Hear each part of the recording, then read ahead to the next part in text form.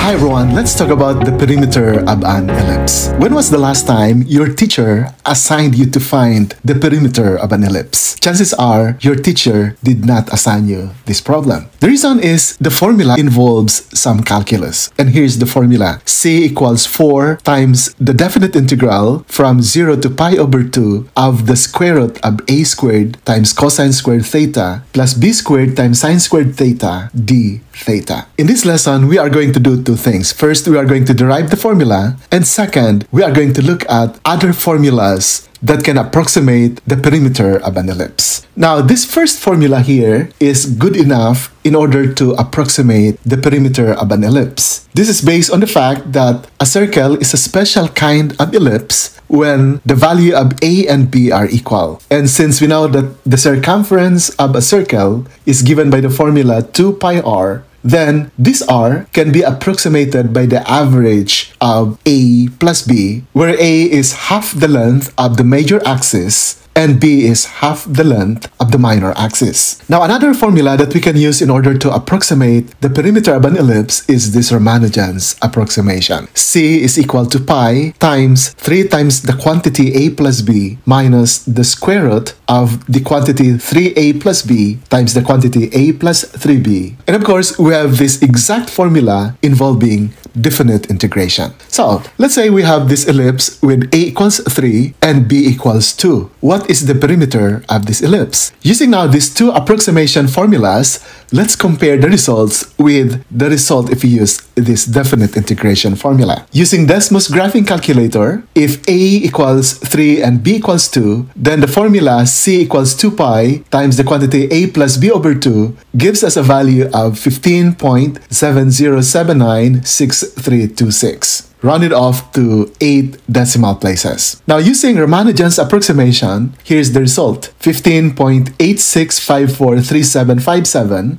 and there is only a difference of 0.15. Now the exact value using this calculus formula is 15.86543958. Notice that for the first five decimal digits after the decimal point, the Ramanujan's and the calculus formula gave us the same result. The difference starts on the sixth decimal place. Reflecting on this result, I cannot help but admire the genius of Ramanujan. Now, during the time of Kepler, when he was studying the planetary movement around the sun, this calculus formula was not yet available. So, they were resorting to some approximation. So, in this lesson, let's derive this formula for the perimeter of an ellipse. Let's begin with the standard form of an ellipse. x squared over a squared plus y squared over b squared is equal to 1. Then let's solve this for y. So we transfer this x squared over a squared to the other side by subtracting x squared over a squared from both sides of the equation. And then let's multiply both sides by b squared.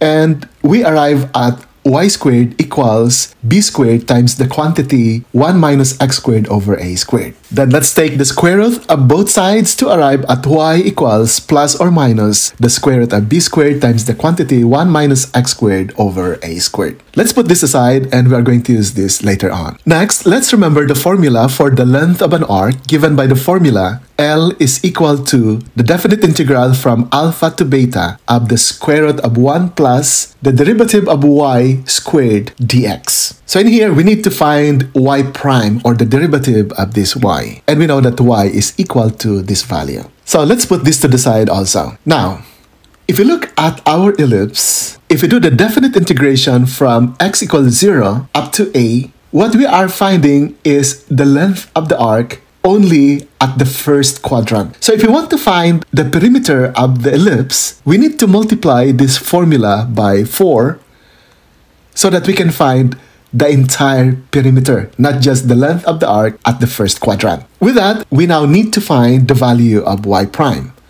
So, what's the value of y prime? We know that the value of y is equal to this expression, but let's write this in fractional exponent so that we can easily find its derivative. And notice also here that you have the square root of b squared, which is equal to b, and then this expression inside the grouping symbol raised to 1 half. We just take the positive sign because we are just limiting our limit of integration from 0 to a. Here is 0, a is this point here. Definitely, we are only after the positive square of this expression. And then by multiplying it by 4, we'll get the perimeter of the ellipse. So to find now y prime, we are going to use the power rule of differentiation. So b is a constant times the exponent 1 half, we have 1 half b copy the base, and subtract 1 from the exponent 1 half to get 1 half minus 1 times the derivative of the inside function applying the chain rule. And the derivative of the inside function is negative 2x over a squared. Then let's simplify this. So y prime becomes, notice that this negative 2 and this denominator 2 will cancel each other out to give us negative x here. So you have negative x here and then 1 half minus 1 is negative 1 half. Now we have here a negative exponent and we can write this entire exponential number at the denominator raised to positive fractional exponent and write that back to radical notation. And we arrive at this result. So in the numerator we have this b and this negative x to get negative bx and in the denominator we still have this a squared. And we write this as positive fractional exponent but now in the denominator. And we write in radical form. So this is now the value of our y prime Let's go back to the formula that we set aside. This y prime here is equal to this result, so let's do the substitution.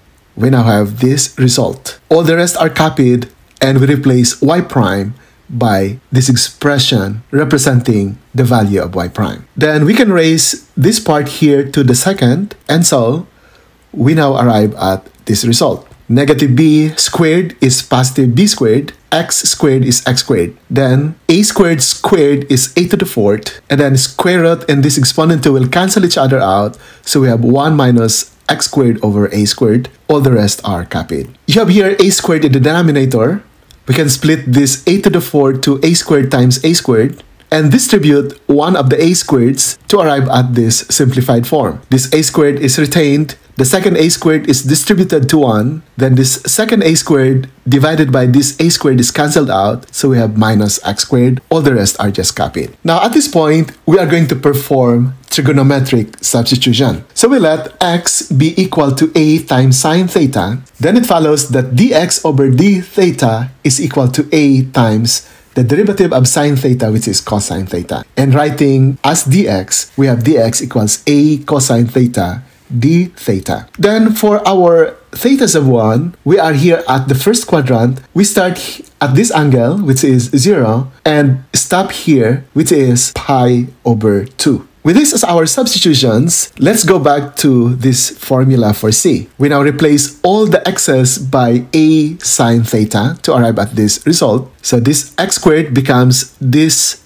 expression squared, dx is a cosine theta d theta, and then this x squared here becomes this expression squared. Now, let's simplify this. If we square a and there's an a squared here in the denominator, that a squared would be cancelled out. So for our numerator, we only have b squared times sine squared theta. This a squared and this a squared are cancelled out. Then at the denominator, we square a to get a squared, and we square sine theta to get sine squared theta, all the rest are copied. Next, notice that there is a common factor a squared here which we can factor out. The reason is, after factoring that out, it's clear that 1 minus sine squared theta is equal to another trigonometric function cosine squared theta using the Pythagorean identity.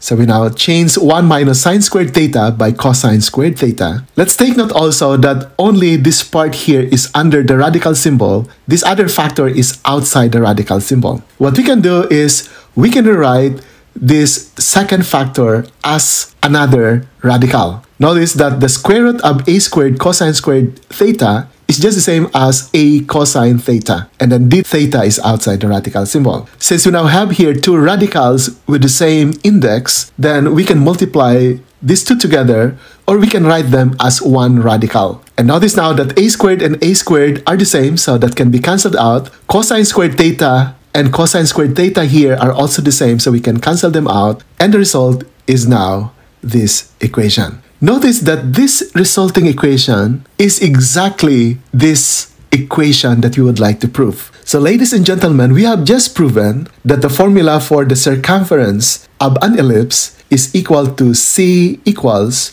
4 times the definite integral from 0 to pi over 2 of the square root of a squared cosine squared theta plus b squared sine squared theta d theta, where a is 1 half the length of the major axis and b is 1 half the length of the minor axis. So thank you very much. This is Rolando Asisten and we'll see you again in our next video. Bye for now.